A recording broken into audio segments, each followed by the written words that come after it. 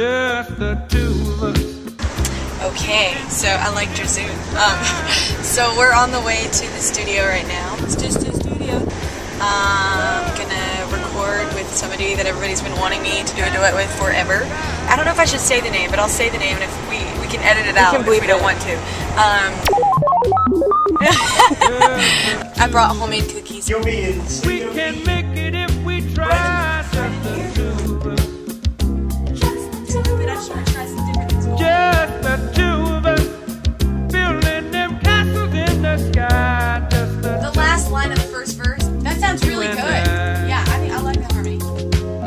I'm feeling good. I'm feeling good. The song is gonna be awesome.